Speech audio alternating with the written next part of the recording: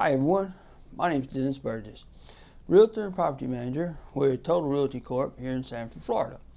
I'm continuing my series of frequently asked questions, uh, ones I received from owners, tenants, tenant prospects, fellow realtors uh, over the years. And today's question deals with the issue of pets. Uh, from an owner's perspective, should I allow pets?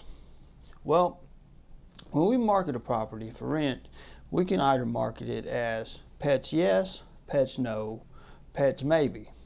Obviously, pets yes meaning that uh, owner would be willing to accept uh, all pets, dogs and cats, uh, provided that any uh, homeowners association restrictions are um, met, not exceeded in terms of weight or quantity of pets, and uh, anything else is met. You know, an owner may prescribe their own weight limit.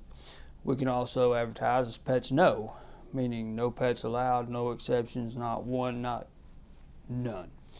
Or third option, we can advertise as pets maybe.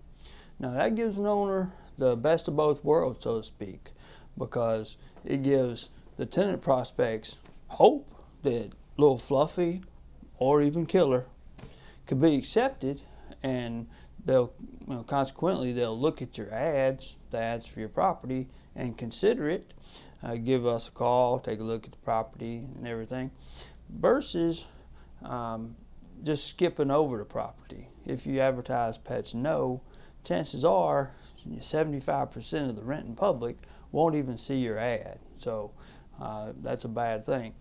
But um, you advertise as pets maybe, um, pets negotiable, that gives you uh, the option to allow pets or decline them on a case by case basis. So that's my suggestion to you.